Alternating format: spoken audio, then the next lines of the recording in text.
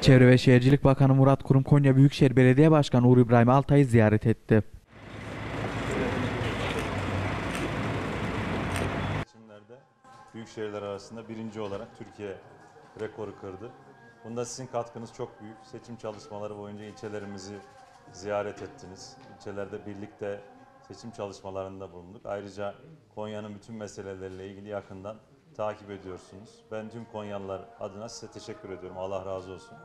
İnşallah hep birlikte Konya güzel işleri yapmaya devam edeceğiz. Özellikle eski sanayi konusunda gösterdiğiniz, esnafımıza gösterdiğiniz destekten dolayı ayrıca teşekkür ediyoruz. İnşallah bu ziyaretiniz kapsamında netleştirilip hafta içinde orada da talep toplamaya başlamayı arzu ediyoruz. Yine Mevlana Çarşısı'nın kaldırılması, Altın Çarşı'nın düzenlenmesi konusunda verdiğiniz destek ve Konya'nın en temel ihtiyaçlarından birisi olan sosyal konut meselesinde gösterdiğiniz duyarlılıktan dolayı teşekkür ediyoruz. Konya'mız, memleketimiz 24 Haziran seçimlerinde büyük bir coşkuyla Cumhurbaşkanımıza, hükümetimize destek vermişti.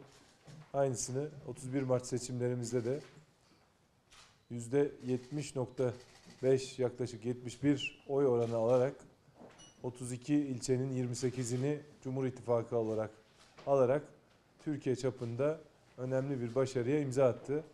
Tabii Konya'mız, memleketimiz AK Parti'ye, Sayın Cumhurbaşkanımıza her zaman vefasını göstermiş bir şehirdir. O anlamda hemşehrilerimize, Büyükşehir Belediye'mizde, ilçelerimizde bize verdikleri destekten dolayı sizlerin huzurunda çok teşekkür ediyorum. Sayın Cumhurbaşkanımıza vefalarını gösterdiklerinden ötürü hepsine ayrı ayrı teşekkür ediyorum. İnşallah biz vatandaşımızın, hemşehrilerimizin bize olan güvenini yere indirmeden, onları mahcup etmeyecek şekilde söz verdiğimiz bütün projeleri sırasıyla yapacağız. Kentsel dönüşümden millet bahçelerine, altyapıdan üst yapıya, manifesto çerçevesinde verdiğimiz tüm sözleri sırasıyla tutma gayreti içerisinde olacağız. Bu anlamda e, sosyal konut projelerimize başladık. İnşallah yarın bir kısmının kurasını çekeceğiz.